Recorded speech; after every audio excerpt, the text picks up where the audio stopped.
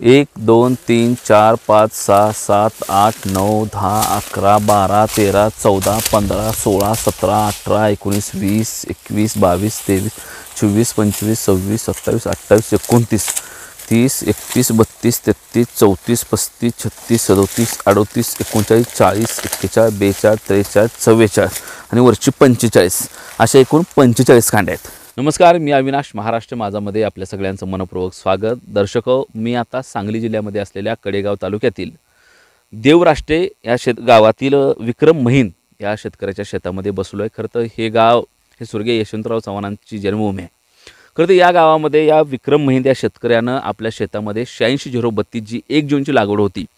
त्या ऊसाच्या लागवडीतून त्या ठिकाणी एकरी एकशे चाळीस टनाचं त्या ठिकाणी उत्पन्न घेतलं आहे त्यामुळे आपण या शेतकऱ्याला भेटायला आलो आहे त्यांच्याकडून जाणून घेणार आहोत की नेमकं त्यांनी एवढ्या मोठ्या प्रमाणामध्ये उत्पन्न घेण्याचं काय कारण आहे. खरं तर अलीकडच्या काळामध्ये ऊस शेती मोठ्या प्रमाणामध्ये होत असताना ऊसाच्या संदर्भामध्ये बरेच प्रश्न उपस्थित केले जात आहेत.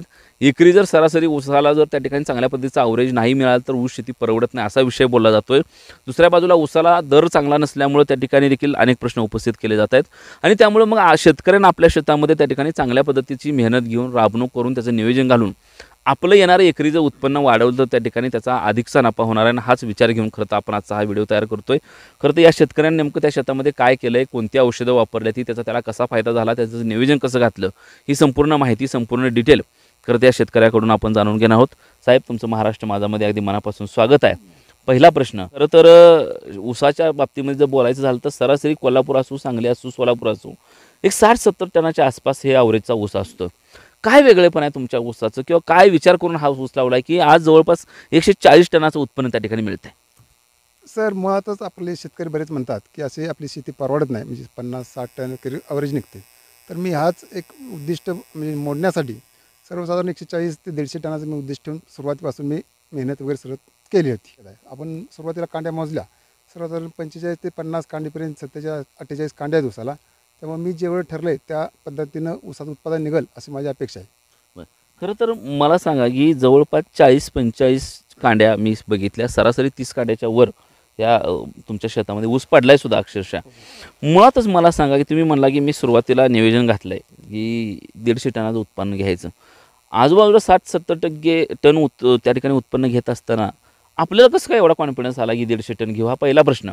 आणि त्यासाठी मग तुम्ही काय नियोजन केलं? हा दुसरा प्रश्न. सर माझं मुळातच दुकान आहे माऊली कृषी सेवा केंद्र असं द्या नावानं. बरं. पण मी आपण शेतकऱ्यांना सल्ला देताना म्हणजे शेतकऱ्यांसाठी पण उत्पादन वाढीसाठी म्हणून मी आपलं असं ठरवलं प्रयत्न केले. हम्म. आणि मी असं ठरवलं की जास्तीत जास्त उत्पादन काढण्यासाठी मी प्रयत्न केले. त्यासाठी मग मेहनत वगैरे केली नांगरणी केली दोन वेळा नांगरलं खुरटणी केली.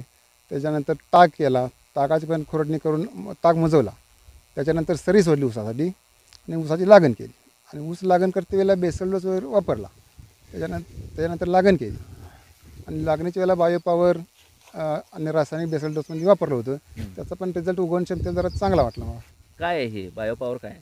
हे जैविक खत आहे. निर्मल कंपनीचं बायो पॉवर नावानं जैविक खत आहे. ते त्याच्या ला- वापरलं हां त्याच्यामध्ये जरा उगवण क्षमता वगैरे चांगली वाटली मला. बरं. हां मग पुढं काय केलं? त्याच्यानंतर विसाव्या दिवशी अं, परत एकदा अं, एका बाजूला चर अशी काढून त्याचे डोस टाक बेसल डोसला. त्यामध्ये पण सर्व रासायनिक खते अं, पेंडी किंवा आपले अं, सूक्ष्मद्रव्ये बायो पॉवर परत त्यावेळेला सुद्धा वापरलं होतं. त्यामुळे फुट्टी वगैरे चांगली निघली त्या. सुरुवातीच्या काळामध्ये हम्म. रायझामेकापर्यंत नंतर जरा एक तीस दिवसादरम्यान रायझामेकाचं आळवणी घातलं. रायझामेकाबरोबर असं म्हणजे त्याने पण जरा आळवणी घातलं म्हणजे? हां ड्रेंचिंग केलं पाण्याने Drenching ड्रेंचिंग केलं. हां बरं बरं हां पुढं त्याच्यानंतर मग पन्नास दिवसानंतर परत एकदा दुसऱ्या बाजूनं खतं दिली. त्यावेळेला पण परत आणखी दहा किलो बायो बायोवर परत आणखी वापरलं मला सांगा साधारण आतापर्यंत एक जूनची लागवड आहे. किती दिवस झाले याला उसाला या? आता सर्व सतरा अठरा महिने झाली उसालची अठरा महिने झाले तर. बरं. अठरा महिन्यामध्ये साधारण किती डोस दिले? पाच डोस दिले सर. पाच डोस दिले. बरं. कुठल्या कुठल्या स्टेपला दिले एकदा? विसाव्या दिवशी एकदा दिला. हां. पहिला सॉरी लागण करताना एक डोस दिला. त्यानंतर विसाव्या दिवशी त्यानंतर पन्नासाव्या दिवशी. परत ऐंशीव्या दिवशी. आणि एकशे पाच ते एकशे दहा दिवसानंतर शेवटचा डोस दिलेला आहे. पुन्हा नाही डोस हा, दिले. पुन्हा त्यानंतर मी ड्रिपनं खते सोडत. होतो बरं ठीक आहे. ह्या सगळ्यामध्ये तुम्ही निर्मल श- कंपनीचं नाव घेतलं. काय वापरले त्यांची प्रोडक्ट तुम्ही? त्याचा काय फायदा झाला? त्यांचं सुरुवातीला बायो पॉवर येतं वापरलं. त्याच्यामुळे उगवण क्षमता चांगली झाली. बरं. त्याच्यानंतर रायझामिका. रायझामिकाचं मी पाच वेळा आळवणी आळवणी दिलं. म्हणजे टिबकनं सोडलं. सुरुवातीला दोन वेळा आळवणी घातलं. त्याच्यानंतर ऊस जरा मोठा झाल्यानंतर टिबकनं सुद्धा सोडलं. एक एकरी शंभर ग्रॅमची पोळी एका वेळेला असे पाच वेळा मी त्याचं अळून वाटले त्याच्यामुळे मळी चांगली वाढली ऊसाची. हम्म. आणि त्यामुळं अं, ऊसाच्या मळ्यांची संख्या भरपूर वाढली. हम्म. पेरातलं अंतर पण चांगलं झालेलं दिसलं. फुटव्यांची संख्या चांगली दिसायला लागली. असा रायजामेकाचा फरक जरा चांगला दिसला मला.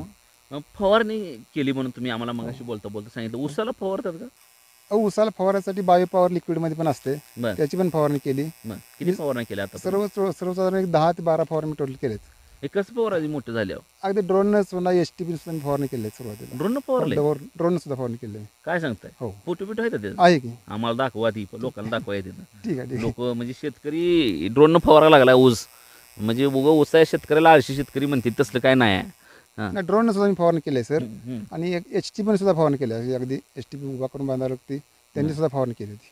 अरे त्यामुळेच बहुतेक एवढ्या मोठ्या कांड्या वाढल्या त्या बरं. हो ड्रोनच्या फवारणी सुद्धा फवारणी म्हणजे रिझल्ट चांगला आलेला आहे. बरं.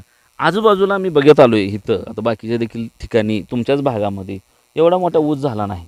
जेव्हा एवढ्या मोठा ऊस झाला कांड्या झाल्या. खरं तर आता मी तोडताना बघतो तोडणी कामगाराला तसा आपदून काढा लागतो ऊस. ते वाकडा तिकडे पण झाला आहे बराच पडल्यामुळे ऊस त्या ठिकाणी. काय वाटते आता सर मनात काय भावना आहे? आजूबाजूला जर बघितलं साठ सत्तर एकरी उत्पन्न स्वतःचं म्हणलं की एकशे चाळीस मनात काय भावना आहे? आनंद होतोय तसा. म्हणजे एकशे चाळीस टन एक विक्रमी उत्पादन घेण्याची अपेक्षा म्हणजे उद्दिष्ट पूर्ण होईल असं वाटतंय मला. आता उसाला थोडा अजून चालू आहे. थोडा अजून राहिला आहे पण एवढं उद्दिष्ट पूर्ण होईल असं वाटतंय मला. ठीक आहे. आता सध्या किती गेले? आता सध्या दहा गुंठ. दहा गुंठ क्षेत्र गेलं आहे. बरं किती त्याच्यामध्ये आलं? सर्वसाधारण पस्तीस ते सदतीस टनाच्या दरम्यान ऊस गेले आता. मग दहा गुंठ्यात पस्तीस सदोतीस. हां. हा म्हणजे एकशे चाळीस जाते अहो. हां त्याच्या आसपास जायला असं वाटतंय. तीन तीन ठिकाणी तोडा लागतोय हो बघितलं मी ऊस. ऊसाची सा जा लांबी जास्त असल्यामुळं सर्वसाधारण तीन ठिकाणी ऊस तोडावं लागते ठीक आहे. खरं तर ह्याने बोलता बोलता दोन वेळेला बायोपावर किंवा रायझामिका या नावाचा उल्लेख केला. खरं तर ही दोन्ही औषधं त्या ठिकाणी ऊसाच्या शेतीसाठी अतिशय गुणकारी औषधं आहेत. ऊसाच्याच काय ती इतर बागांसाठी देखील अतिशय महत्त्वाचे आहेत. आपल्यासोबत या दोन औषध ज्या कंपनीचे आहेत त्या निर्मल शीडचे व्यवस्थापक त्या ठिकाणी भीमशेट्टी साहेब आपल्यासोबत आहेत. त्यांच्याशी बोलूया. नेमकं ऊस शेतीसाठी शेतकऱ्यांनी लागवडीपासून ते आतापर्यंत काय पद्धतीची प्रक्रिया केली पाहिजे? कशा पद्धतीनं त्या प्रोडक्टचा वापर केल्यानंतर शेतकऱ्याचं येणारं उत्पन्न जवळपास दुपटीनं वाढेल? हा विचार करता आपण त्यांच्याशी बोलून जाणून घेऊया. साहेब नमस्कार. नमस्कार. अगदी सांगा की शेतकऱ्याने सांगितलं की जवळपास आता दहा गुंठे तोडून गेले सदोतीस टन त्या ठिकाणी खेप गेली आहे. आणि ह्या पूर्ण एकरामध्ये एकशे चाळीस टनाचं त्या ठिकाणी उत्पन्न निघणार आहे. आपण बघितलं तर सरासरी एक पंचवीस तीसच्या आसपास त्याला कांड्या येत्या. आणि बऱ्याच ठिकाणी म्हणजे जवळपास तीस टक्के तर त्या ठिकाणी चाळीस पंचेचाळीस कांड्याचं त्या ठिकाणी उत्पन्न आहे. काय सांगाल काय तुमच्या औषधाचं वेगळेपण आहे ते कशा पद्धतीनं वापरलं पाहिजे? आता सर्वात महत्त्वाचं म्हणजे ऊस शेतीमध्ये रासायनिक खतांचा संतुलित वापर करणं खूप गरज आहे. कारण खतांच्या रासायनिक खतांच्या किमती इतक्या वाढलेल्या आहेत. तर ऊस शेती म्हणा किंवा कुठलीही शेती आता सध्या परवडणारी राहिलेली नाही. त्यामुळं माझं म्हणणं असं आहे की आणि सुरुवातीला आमची विक्रम महिंद साहेबांची ज्यावेळेस भेट झाली आणि त्यांचं नाव जसं विक्रम आहे त्यांनी अगोदरच ठरवलं होतं की ऊसामध्ये काहीतरी विक्रम करायचं. मग त्या अनुषंगानं त्यांनी सुरुवातीलाच एकरी दीडशे टन कसं ऊस काढता येईल याविषयी आमची चर्चा झाली. त्यानंतर आम्ही त्यांना एक आमच्या कंपनीच्या तज्ज्ञ लोकांनी जो ऊस खतामध्ये संतुलित खताच्या मात्रेचा एक चार्ट दिला आणि त्याच्यामध्ये फवारणीचा आणि खतांचा. असा चार्ट दिला आणि त्या अनुष त्या हिशोबानुसार जसं ज्या वेळेस जे जी खतं लागतात ऊसासाठी त्या प्रकारची त्या तसं त्यांनी वापरत वापरली. किंवा सुरुवातीला जो डोस आम्ही ठरवलेला आहे म्हणजे वीस दिवसानंतर त्याच्यानंतर चाळीस दिवसानंतर त्याच्यानंतर नव्वद दिवसानंतर आणि शेवटचा एकशे दहा दिवसानंतर. अशा चार ते पाच रासायनिक खतांच्या मात्रा आम्ही त्यांना सांगितल्या. आणि सु अल्प प्रमाणात सूक्ष्म अन्नद्रव्यात असे सात आठ घटकांचा समावेश असल्यामुळे कुठल्याही रासायनिक खतासोबत जर ते खत दिलं गेलं. तर मुळांची वाढ होती आणि फुटव्यांचं प्रमाण वाढतं. आणि सगळ्यात महत्त्वाचं जे जमिनीमध्ये आपण फॉस्फरस टाकतो किंवा जमिनीमध्ये ऑलरेडी लोह उपलब्ध असतो ते लोह आणि फॉस्फरसचं विघटन करून द्यायचं ते काम करतं. आणि त्यामुळं म्हणजे रासायनिक खत उचलली जातात आणि त्या अनुषंगाने पांढऱ्या मुळ्यांची वाढ होणं असो किंवा ऊसाची भरघोस अशी वाढ त्या त्यामुळं आपणास मिळते. आणि आता आपल्या सांगली जिल्ह्यामध्ये एक खूप वर्षापासून काही शेतकरी बांधव ड्रेंचिंग करतात. म्हणजे त्याला आपण अळवणी म्हणतो. तर अळवणीमध्ये किंवा ड्रेंचिंगमध्ये आम्ही एक चार्ट तयार केलेला होता आमच्या कंपनीच्या हिशोबानुसार. की चार ते पाच वेळा आपण ऊस ऊस या पिकास आळवणी करावी तर त्याच्यामध्ये रायझामिका असेल सुरुवातीला एक विसाव्या दिवशी लागवडीनंतर.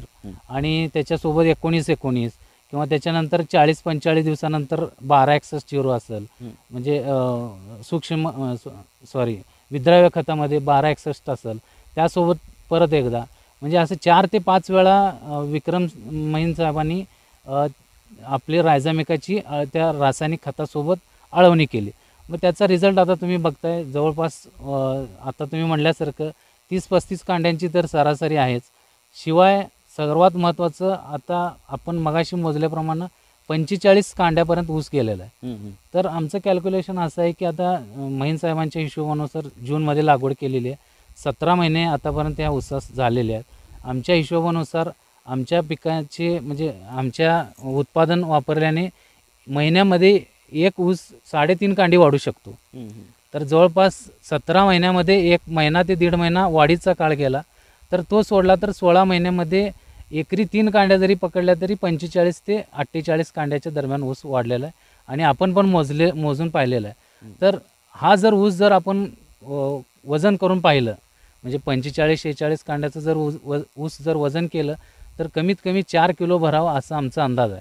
आता आपण पाहिलेलंच आहे दहा गुंठ्यामध्ये पस्तीस टन जवळपास ऊस गेलेला आहे. सदोतीस टन. म्हणजे एकरी साधारणपणे एकशे चाळीस टनापर्यंत जायला सुद्धा काय हरकत नाही आता इथली परिस्थिती जर पाहिली तर शंभर टक्के एकशे चाळीस टन मिळेल असा अंदाज आहे.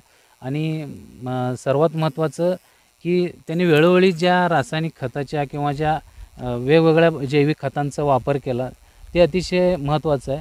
आणि बऱ्याच शेतकऱ्यांचं असं एक ग्रह आहे की ऊस हे आळशी माणसाचं पीक आहे. लावलं की फक्त तोडालाच जायचं. असं आता तो काळ राहिलेला नाही. कारण महागाई इतकी वाढलेली आहे तर एकरी कमीत कमी शंभर टनाच्या पुढं जर गेलो तरच आपण आपण बाजारामध्ये तग जाऊन तग राहून तग. तग धरू शकतो. आणि सगळ्यात महत्त्वाचं आता बाजारामध्ये वेगवेगळ्या प्रकारची भरपूर चांगली चांगली खते आलेली आहेत. जे जे हे पाच दहा वर्षापूर्वी ह्या म्हणजे अशा प्रकारची खते बाजारामध्ये उपलब्ध नव्हती. म्हणजे आत्ता मी तुम्हाला सांगितलं रायझामिकासारखं एक उच्च तंत्रज्ञाना तंत्रज्ञानाचा आधार घेऊन कंपनीनं बनवलेलं म्हणजे ते एक खत आहे. खरं तर एकाच प्रश्नामध्ये तुम्ही जवळपास तुमच्या ह्या पूर्ण ह्याची खरं तर उत्तरं दिली आहेत त्या ठिकाणी. मुळातच हा ऊसाचा भाग आहे परंतु मोठ्या प्रमाणामध्ये जर त्या ठिकाणी येणाऱ्या काळामध्ये ऊसाचं उत्पन्न वाढलं नाही तर ही ऊस शेती देखील त्या ठिकाणी शेतकऱ्याला तितकीशी परवडणार नाही. आता सध्याच ऊसाच्या बाबतीमध्ये तसा तुमचा हा सांगली जिल्हा दराच्या बाबतीत तरी चांगला समृद्ध आहे. परंतु आम्ही ज्या सोलापूर जिल्ह्यातून येतो त्या सोलापूर जिल्ह्यामध्ये पंचवीसशे रुपये ऊस दर द्यायची मारामारी साखर कारखानदाराकडून केली जाते. त्यामुळं आमच्या भागात देखील शेतकऱ्यांनी मोठ्या प्रमाणामध्ये अशा औषधांचा वापर करून त्या ठिकाणी आपली एकरी आपलं उत्पन्न वाढवणं जास्त गरजेचं आहे. त्या औषधाची काय वैशिष्ट्य आहेत हे तुम्ही सांगितले अनेक वेळा आपण ती जाणून देखील घेणार आहोत. परंतु तुर्तास तरी या व्हिडिओच्या माध्यमातून आपण हे थोडक्यात त्या ठिकाणी उलगडा करायचा प्रयत्न केला की बाबा सरासरी साठ सत्तर टन ऊस इतरांना निघत असताना नेमकं तुमच्या शेतामध्ये हे एवढं मोठं उत्पन्न निघून जवळपास एकशे चाळीस टन ऊस एकरी निघण्याची नेमकी काय जादू आहे हे करता आपण जाणून घेण्याचा प्रयत्न केला. खरं तर ऊसाचं जर चांगल्या पद्धतीचं निवेदन केलं आणि मगाशी आम्ही दोघं तिघंही बोललो की ऊस शेती ही आळशी लोकांचं पीक आहे. हा जर विषय आपण मोडीत काढला आणि जर चांगल्या पद्धतीचं निवेदन अगदी लागवडीपासून केलं मग ती खत भरणी चांगल्या पद्धतीची असेल औषधं चांगल्या पद्धतीची वापरणं असेल जैविक खतं त्या ठिकाणी चांगल्या पद्धतीची वापरली पाण्याचं नियोजन चांगलं केलं तर जवळपास पुन्हा हळूहळू त्याला चार पाच वेळा त्या ठिकाणी चांगल्या पद्धतीचे डोस आणि नंतर फवारण्या करून शेवटपर्यंत जर पाण्याचं आणि तणाचं नियोजन चांगल्या पद्धतीनं केलं. ऊसाची बांधणी वेळोवेळेला करून घेतली. त्याच्यामधले जो काय पाल्याचं जे काय प्रमाण राखणं त्या ठिकाणी नीटनीटकं हाताळलं. तर शेतकऱ्याला एकरी त्या ठिकाणी एकशे चाळीस टनापर्यंत उत्पन्न निघायला अडचण नाही. कंपनीचं तर म्हणणं असं आहे की त्यांनी त्या नियोजनानुसार गेलं तर एकशे साठ टनापर्यंत जात आहे. परंतु मला वाटते सरासरी एकशे वीस टना जरी आपण पुढचा पल्ला त्या ठिकाणी पार केला तरी देखील आपल्याला चांगल्या पद्धतीचा नफा या ऊसाच्या शेतीतून मिळतोय. तुमच्या भागात जर तीन हजाराचा जरी दर पकडला तर चौदा त्रिक मला वाटतं बेचाळीस म्हणजे चार हजार दोनशे. चौदा त्रिक किती? बेचाळीस का? चार लाख वीस हजार चार लाख वीस हजार रुपये. पाडा बरोबर आहे ना माझा? लई दिवस झाले शाळेत जाऊन. तर जवळपास एका एकरामध्ये चार लाख वीस हजार रुपयांचं उत्पन्न म्हणजे जवळपास आपल्या भागामध्ये जे द्राक्षी डाळिंब्यामध्ये निघतंय ते त्या ठिकाणी तो उत्पन्न खरं तर तुम्ही तुमच्या शेतामध्ये काढताय. शिवसाया शेतकऱ्यांनी खरं तर आवर्जून हा व्हिडिओ बघून ह्या गोष्टीतून हे शिकायचं आहे. की चांगल्या पद्धतीचं नियोजन केलं चांगल्या कंपनीची औषधं वापरली. तर त्या ठिकाणी एकरी तुम्ही किमान एकशे वीस टनापर्यंत जायला तर तुम्हाला त्या ठिकाणी हरकत नाही. कॅमेरामन महेश मी अविनाश महाराष्ट्र माझा देवराष्ट्र.